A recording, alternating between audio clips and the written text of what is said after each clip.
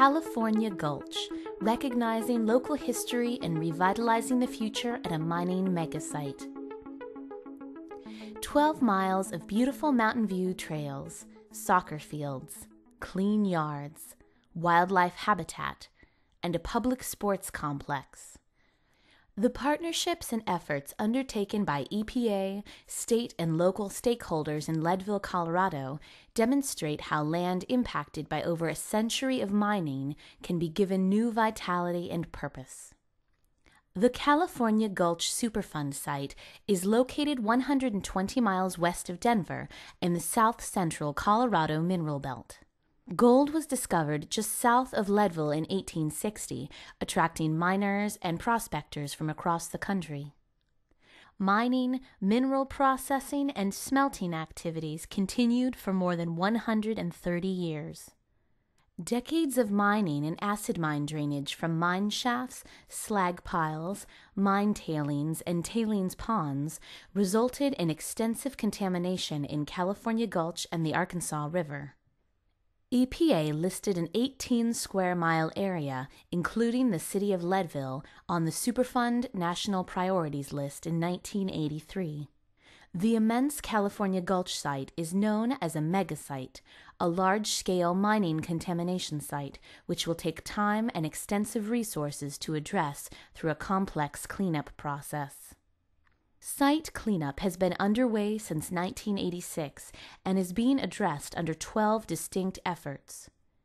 More than 350,000 cubic yards of contaminated soils, sediments, and mine processing wastes have been consolidated and contained to prevent people coming into contact with contamination. Residential property cleanup, including removal of waste rock piles in Leadville, has now been completed.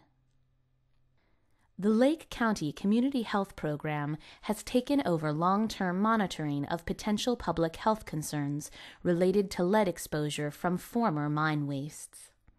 In addition, the program also performs follow up environmental testing and cleanup.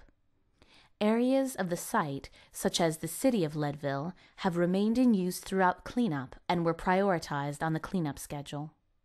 The site's cleanup has also included the construction and operation of the Yak Water Treatment Plant, which processes incoming waters from the mining district at a rate of 850 gallons per minute and which has substantially improved local and regional groundwater quality.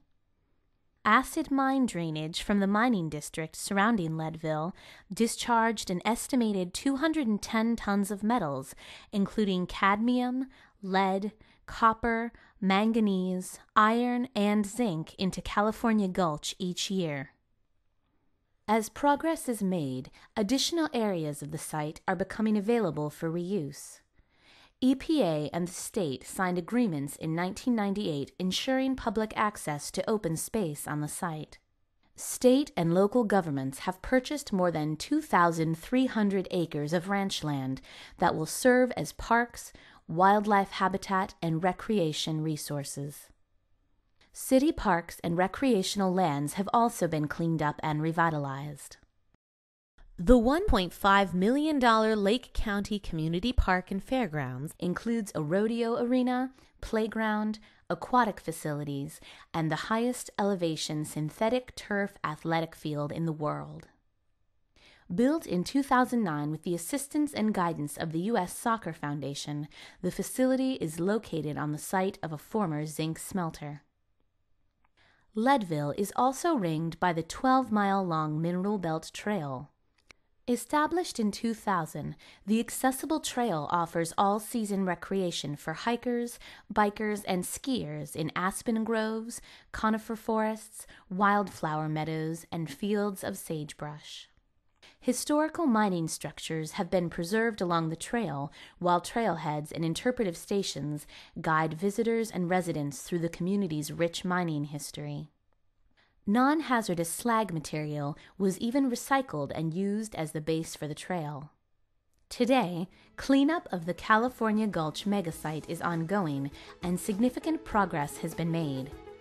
While cleanup efforts continue, the community has continued to use safe portions of the site and integrated newly cleaned up areas into a city that honors its mining heritage and looks to include that history as an integral part of its future.